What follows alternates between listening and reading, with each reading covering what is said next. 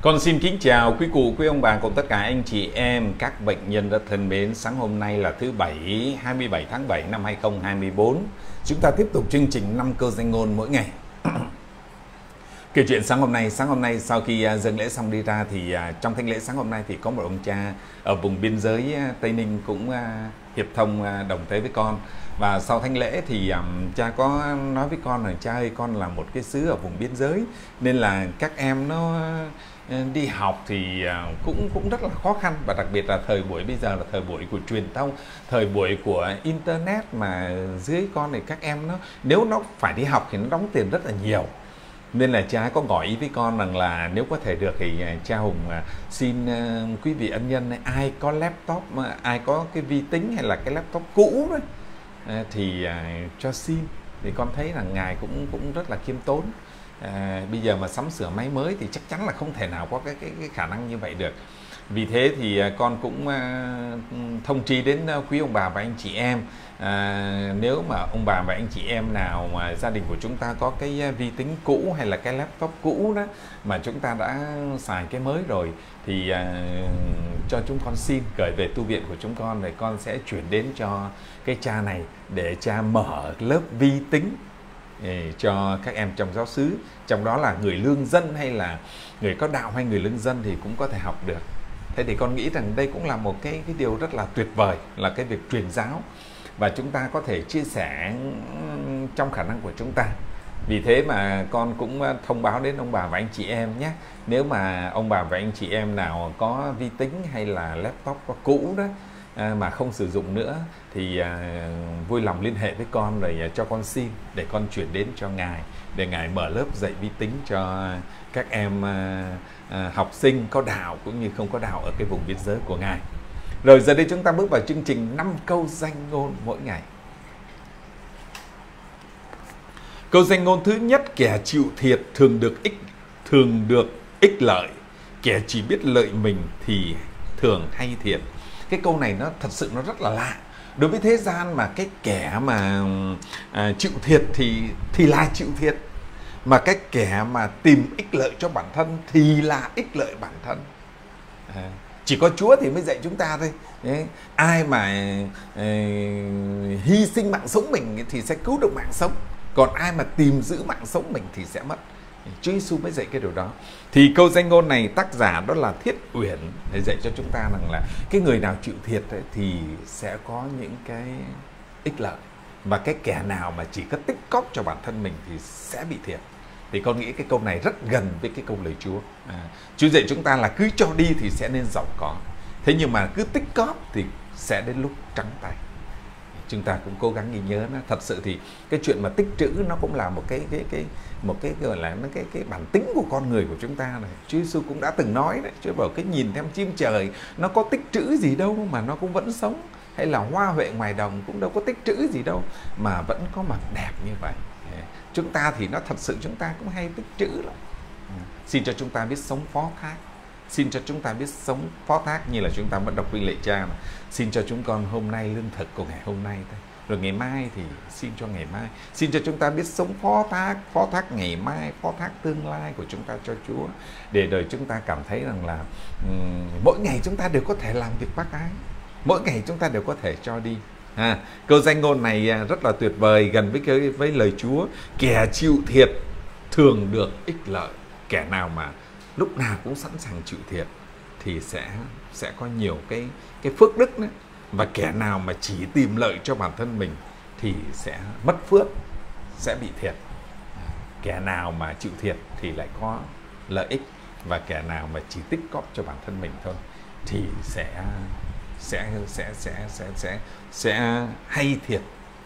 Xin cho chúng ta luôn luôn sẵn sàng chịu thiệt để cho chúng ta chia sẻ. Ví dụ như chúng ta có một uh, chúng ta có thể ăn một tô phở một ờ, một trăm ngàn chẳng hạn. Nhưng mà thôi thì chúng ta thiệt đi một tí chúng ta ăn tô phở ví dụ ăn tô phở tám chục thì chúng ta vẫn đã có thể là chia sẻ được hai rồi. Thiệt đi một tí nhưng chúng ta lại có phước. Mà nếu mà chúng ta bảo tôi làm tôi có quyền ăn thì chúng ta sẽ chẳng được cái phước nào hết ha.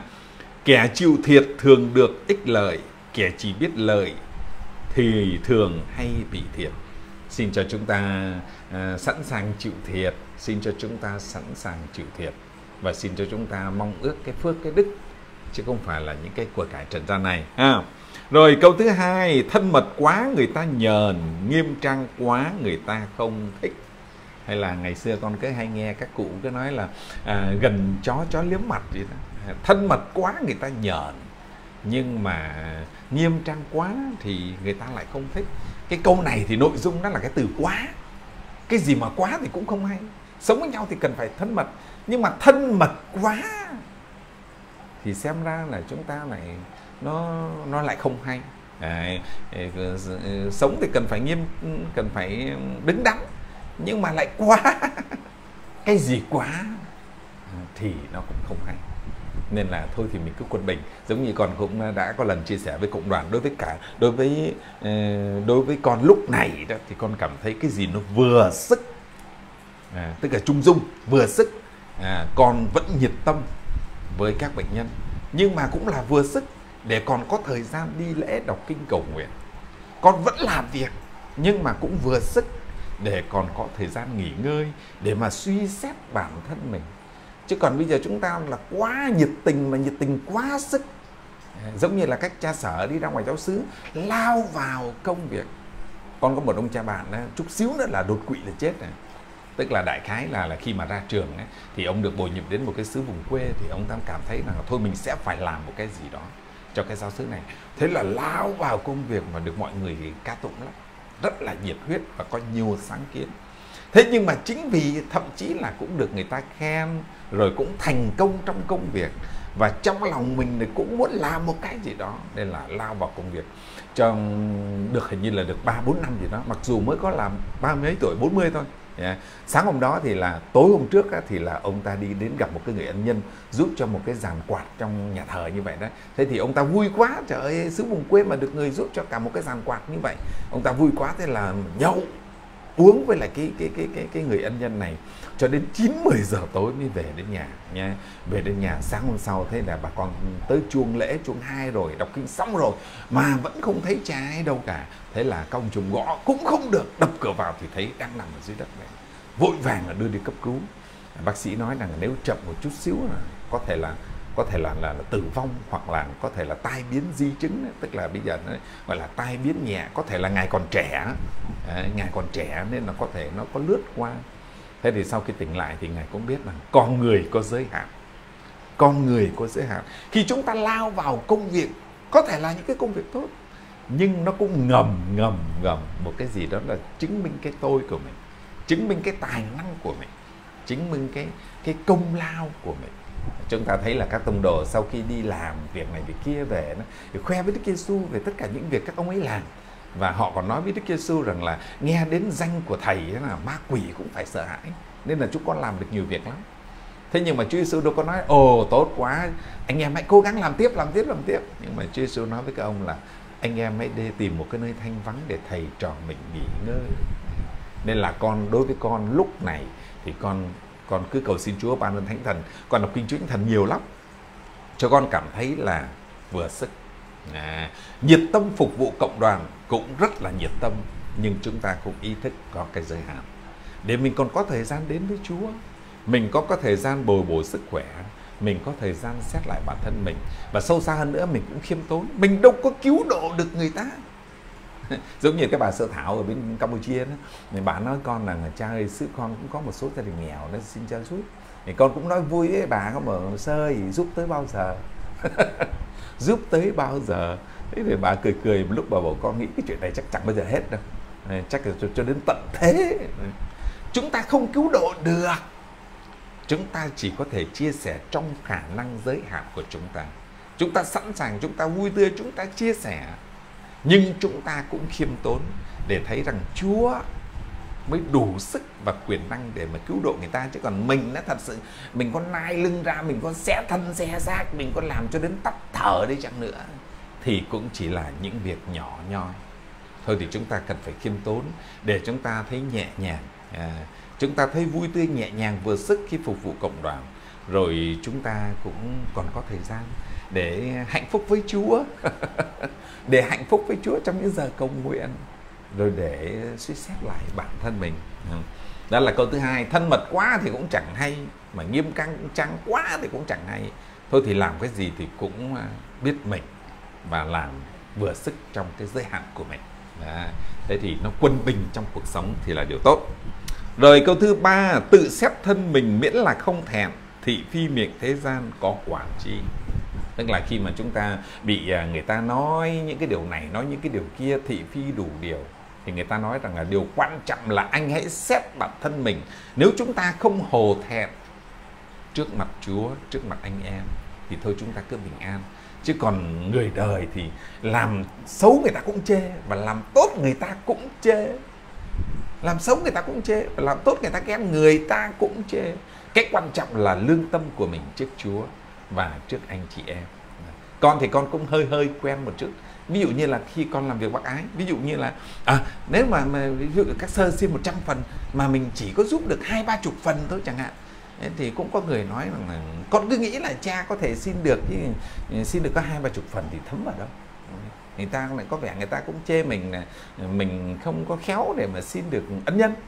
Thế nhưng mà nếu mà sơ xin 100 phần mình bảo thôi tôi cho sơ là 150 phần đó thì người ta cũng sẽ nói người ta bảo trời ông này nhiều tiền ghê ấy nhỉ. Không biết là là, là mà sợ người ta còn ông còn có khả năng ông giúp cả hai ba trăm phần ấy, nhưng mà chắc ông giữ riêng ờ, trăm hai trăm phần đấy ông giúp mình trăm rưỡi. Làm tệ người ta cũng chê và làm tốt người ta cũng chê. Vì thế mà chúng ta cứ suy xét bản thân. Nếu mà chúng ta lắng nghe đông tây nam bắc à, thị phi chuyện này chuyện khác thì trước tiên là chúng ta suy xét bản thân mình xem chúng ta làm như vậy có đúng không? Làm như vậy như thế nào? À, những cái việc chúng ta làm có làm hổ thẹn trước mặt Chúa trước mặt anh em không?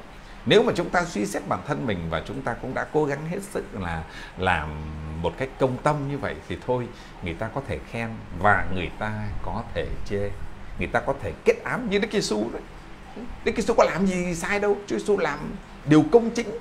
Thế nhưng mà người ta cũng vu oan các bạn người ta giết chết thì thôi Đức Giêsu cũng chấp nhận thôi, người ta giết mình thì người ta giết mình thôi, chứ còn mình có là, mình cũng đâu có chống lại người ta, mình cũng đâu có giết lại người ta được. Mình chỉ biết sống công chính, mình chỉ biết yêu thương, mình chỉ biết tha thứ thôi.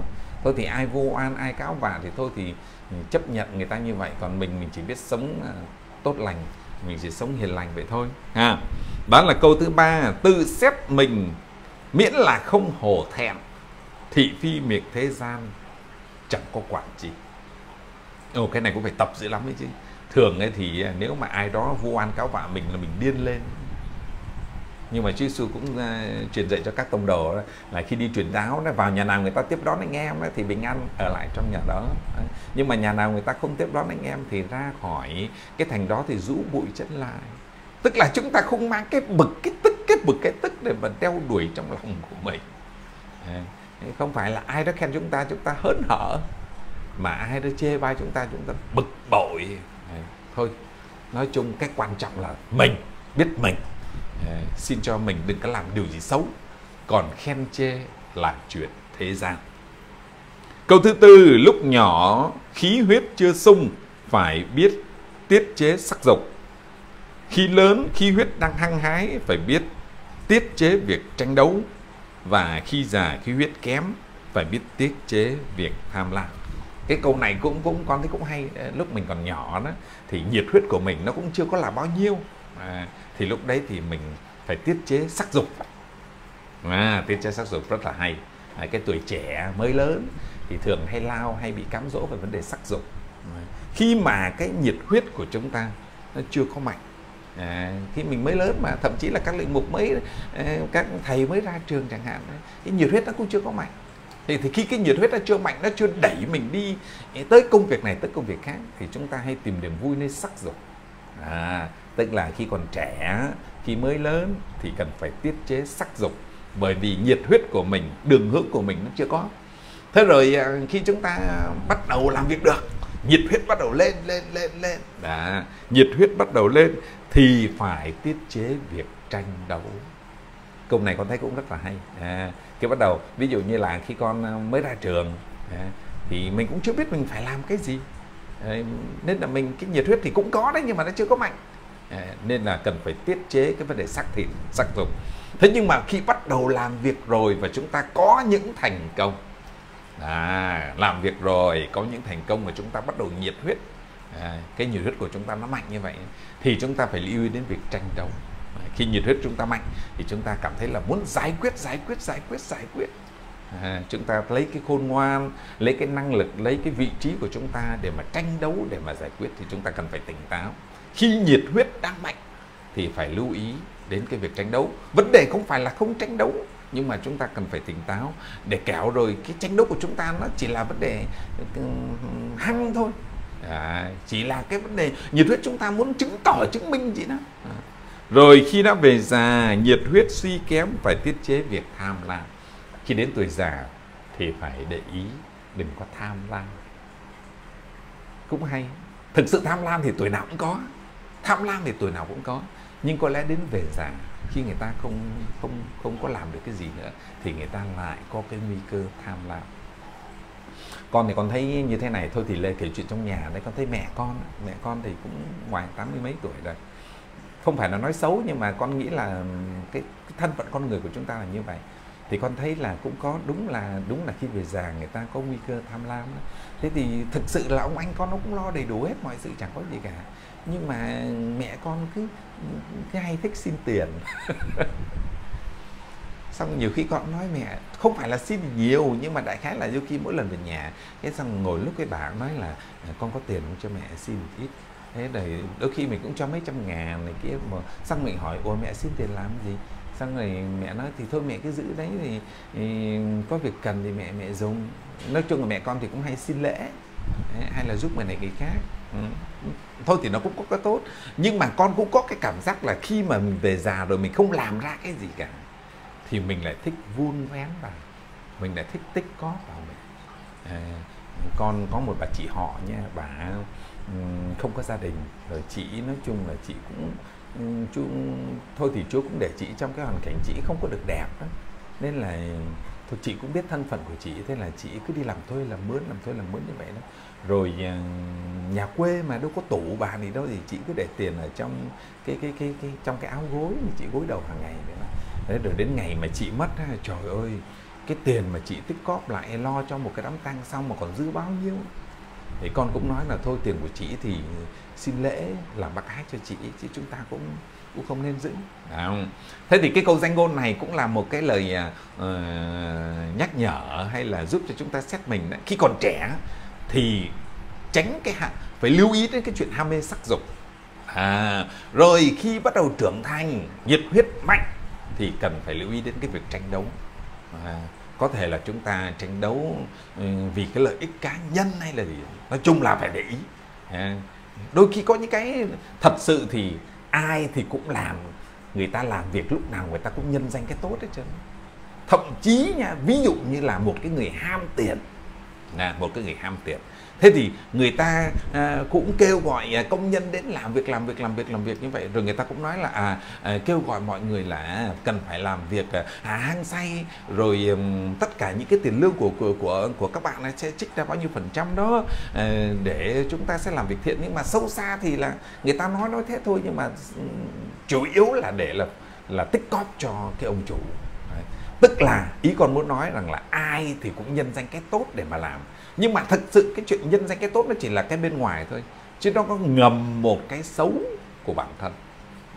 Vì thế là trong cái cuộc tranh đấu tranh đấu nào thì cũng nhân danh cái tốt, nhưng mà thực sự nó cũng là, nó cũng nó cũng là cái hình ảnh bên ngoài của một cái tôi tranh đấu cho lợi ích cá nhân, cho lợi ích nhóm. Nhưng mà chúng ta vẫn mặc cho nó một cái gì đó rất là đẹp. Khi trưởng thành thì lưu ý đến việc tranh đấu, và khi về già thì chúng ta lưu ý đến cái tội tham lam. Con nghĩ cái câu này cũng rất là hay. Khi còn trẻ thì cái tội dâm dục, khi trưởng thành thì cái tội tranh đấu đấu tranh. Và khi về già thì là cái tội tham lam. À. rồi câu thứ năm, muốn làm chuyện gì mà có chuyện chưa bằng lòng thì nên tự xét lại thân mình xem làm như thế có đúng chưa? Tức là khi chúng ta làm một cái việc gì đó mà gặp những cái, cái những cái ờ, bất trắc này kia thì chúng ta phải xét lại xem là cái việc làm của chúng ta như vậy đã đúng chưa? Thì câu này cũng rất là hay. Ờ, thì ờ, Chúa Giêsu cũng đã dạy chúng ta là khi đến đền thờ cầu nguyện mà nếu có cái trục trặc gì với anh em thì thôi thì phải dừng lại đi về làm hòa với anh em nữa. Thì cái việc dâng lễ nó mới đẹp lòng Chúa. Thì đây là cái việc đạo đức. À, khi chúng ta muốn làm một cái việc đạo đức thì phải suy xét xem là mình có hiểm khích ai không mình có ghét ai không. Rồi hãy đi làm bác ái chứ còn làm bác ái mà lại chửi đông chửi tây thì còn làm sao? Ờ, muốn làm bác ái thì lại phải suy xét xem là mình có ghét anh em không mình có hận thù anh em không. À, chúng ta phải giải gỡ xong thì làm bác ái thì sẽ đẹp lòng Chúa. À, rồi trong cuộc sống hàng ngày thì khi chúng ta bắt đầu làm một cái việc gì mà gặp những cái khó khăn thì phải suy xét lại bản thân suy xét lại cái công việc suy xét lại bản thân xem là chúng ta đã chuẩn bị tốt chưa chúng ta đã tốt chưa hay là có cái gì đó trục trặc. À, cái này cũng rất là đúng ví dụ như là mình ờ, chuẩn bị đổ móng mà mình thấy bỗng dưng nó có một cái vết nứt chẳng hạn thì chúng ta phải dừng lại ngay để xem xét rằng là tại sao đó lại có cái việc này rồi mà khắc phục. Khắc phục xong thì chúng ta làm thì mới được. À, thì làm cái gì cũng vậy chúng ta cũng vậy. À, khi mà thường thì trong cuộc sống thì cái vấn đề mà xây nhà đó một trong những cái việc đó là vấn đề xây nhà thì con cũng vẫn cái hay động viên những người xây nhà. Thứ nhất là phải xin lễ à, rồi trong cái quá trình xây nhà thì chúng ta cũng luôn luôn là cầu nguyện rồi luôn luôn là để ý xem là có cái trục trặc gì không có cái việc gì không. Rồi xin Chúa soi sáng cho nếu có cái trục trặc gì có cái vấn đề gì thì Chúa soi sáng cho mình. Thế thì nếu mà chúng ta kỹ lưỡng như vậy thì cái công việc nó, nó sẽ tốt. Nó sẽ tốt. Đối với cá nhân con mặc dù là công việc bác ái thế nhưng mà chúng con vẫn phải họp hàng tháng. Vẫn phải họp hàng tháng để báo cáo thu chi rồi suy xét xem chỗ này chỗ kia cái công việc như vậy đã ổn chưa ổn chưa tại sao? Tại sao phát quà xong về nhà người ta cãi nhau? Thì mình là phải suy xét xem là cái cách phát quà của mình như vậy nó có thật sự là hợp lý chưa? Khiến cho người ta lại phải cãi nhau như vậy. À thế thì khi làm việc gì mà thấy có những cái bất chắc thì chúng ta phải dừng lại để suy xét bản thân suy xét cái, cái cách làm của chúng ta xem là đã đúng chưa đã tốt chưa. Nếu chưa đúng chưa tốt thì chúng ta cần phải khắc phục rồi mới làm tiếp thì bắt nói ai của chúng chúng con là họp hàng tháng và bất cứ trong cái việc gì là chúng con thường xuyên là trao đổi. Dạ. Để rồi nếu có trục trặc gì đó cái là phải ngồi phải giải quyết ngay. Tại sao lại xảy ra cái chuyện này? Dạ. Để giải quyết được thì mọi sự nó sẽ tốt. À, cái tháng trước đấy là chúng con à, dự định nó là 300 phần quà 300 phần quà cho các bệnh nhân. Thế thì à, lúc mà khi đến đó thì à, lại nghe nói rằng là có một cái nhóm khác người ta tổ chức sinh nhật cho một cái em bệnh nhân ung thư giai đoạn cuối. Thế thì trung tâm bảo thôi được rồi thì để cho các em nó à, chúc mừng à, sinh nhật cái cái bạn đó đi. Chúc mừng sinh nhật xong đi rồi về thì mình phát quà. Thế thì ngồi đợi cũng gần một tiếng đấy thì các em nó sinh nhật xong. À, chúc mừng sinh nhật xong vui vẻ thế thì à, sơn sơ mới nói là thôi các em về thì mình phát quà luôn. Thế là các em nó lát đác nó về nó phát quà. Trời ơi mới phát được cái chừng 20 em nó, nó thông báo cho nhau như thế nào? Trở về mình 300 phần nó lên tới 500 phần. Chúng còn thiếu tới gần 200 phần quà nữa. Thiếu như vậy rồi trời các em la hét này nhiều bậc phụ huynh cũng cảm thấy không có đồng đều này kia thế là con phải nói với bà sơ trưởng là chị ra chị ờ, họp tất cả những cái khoảng 200 các em lại ờ, rồi hứa là ngày mai, bằng mọi cách ngày mai sẽ phát cho 200 em này. Mà dĩ nhiên là chúng con phải phát phiếu nhé. Chúng thôi mà mình không phát phiếu, ngày mai nó kéo lên 500 nữa. Thật ra thì làm bác ái mà có người xin người lấy thì mừng lắm rồi con không có cái suy nghĩ là cái chuyện là là mắc ái rồi mình cũng phải khắt khe thế này thế khác. Sợ là người ta nghe nhau, người ta ủa nhau. Trời ơi, mình cho người ta có nhiều đâu. Mình cho người ta có bao nhiêu đâu. Thật, mình cho mà người ta nhận là mình mừng lắm rồi. Nên là con cũng nói bà sơ là, nhưng mà thôi cái cách mình làm sao cho nó cho nó khoa học. Thế thì phát phiếu cho các em thì ngày mai đấy 200 nhưng mà con vẫn chuẩn bị thêm tới ba bốn trăm vậy đó. Để phòng khi những người người ta đến một lần nữa, người ta cũng có phiếu thì mình vẫn có thể cho tại vì thôi mình cũng khiêm tốn cái phần quà của mình thì cũng chẳng đáng là bao nhiêu cả. Đấy. mình cho người ta nhận là mình mừng rồi. À, đấy là câu danh ngôn thứ năm. Khi làm việc gì đó mà nếu xảy ra những cái bất trắc thì chúng ta phải ngồi lại xem xét xem xét bản thân xem xét công việc xem trục trặc ở chỗ nào. Rồi để chúng ta giải quyết cái vấn đề à, giải gỡ xong thì chúng ta tiếp tục công việc. Ha đó là năm câu danh ngôn chúng ta học hỏi sáng hôm nay thứ bảy. 27 tháng 7 ha. Kẻ chịu thiệt câu thứ nhất con lặp lại nghe. Câu thứ nhất kẻ chịu thiệt thường được ích lợi. Kẻ chỉ biết lợi cho mình thường hay bị thiệt. Câu này rất là lạ mà gần với câu lời Chúa. Kẻ mà chịu thiệt thì sẽ có ích lợi và kẻ mà hay tích cóp hay tìm lợi cho bản thân mình thì thường là nó lại, lại gặp phải những cái chuyện thiệt ha. Rồi câu thứ hai thân mật quá người ta nhờn nghiêm trang quá người ta không thích đừng tốt thì tốt nhưng mà đừng có quá. Cái gì quá thì không hay. Câu thứ ba, tự xét thân mình miễn là không thèm. Thị phi miệng thế gian có quản chi? À, thế gian có thể khen, có thể chê, nhưng điều quan trọng hơn đó là chúng ta cần phải biết mình nhé. nếu chúng ta đã làm tốt thì thôi, người ta khen chê là chuyện của thế gian. Câu thứ tư, lúc nhỏ khi huyết chưa sung phải tiết chế sắc dục. Khi lớn khi huyết đang hăng, phải tiết chế việc tranh đấu và lúc về già, khí huyết suy kém phải tiết chế việc tham lam. Khi còn trẻ, phải lưu ý đến tội dâm dục khi trưởng thành, lưu ý đến cái việc tranh đấu. Và khi về già, chúng ta lưu ý đến cái tội tham lam. À. rồi câu thứ năm, muốn làm chuyện gì mà có chuyện chưa bằng lòng thì nên tự xét lại thân mình xem làm như thế đã đúng đắn chưa. Khi chúng ta làm cái công việc gì mà gặp những cái trục trặc, những cái khó khăn thì phải suy xét lại bản thân mình và suy xét lại cái công việc cái cách làm việc để tìm ra cái nguyên nhân. Sau khi tìm ra nguyên nhân rồi giải gỡ rồi thì chúng ta tiếp tục làm tiếp. Kính thưa cộng đoàn, con xin được nhắc lại đó là một cha ở vùng biên giới có xin uh, vi tính cũ hay là laptop ờ, cái laptop cũ để cho cha mở lớp vi tính cho các em ở vùng biên giới. Có đạo cũng như không có đạo để học thay vì các em mới đăng ký ở trung tâm uh, vừa xa uh, vừa phải đi xa rồi lại tốn kém thì thôi thì ừ, cũng là chỉ là xin những cái máy cũ thôi. Thì nếu có thể được à, ông bà anh chị em có thì vui lòng liên hệ với con để con cho địa, địa chỉ gửi về cho tu viện của con. Rồi con sẽ gom lại sau đó con sẽ giao cho ngài. À, xin à, được cả thay mặt cho cha ở vùng biên giới. À, chúng con cũng à, có lời xin quý ông bà và anh chị em và cũng à, hết lòng cảm ơn. Và chúng con cũng luôn cầu nguyện cho quý vị ân nhân. Con xin hết lòng cảm ơn sự lắng nghe của cộng đoàn. Xin Chúa chúc lành cho tất cả chúng ta. Amen.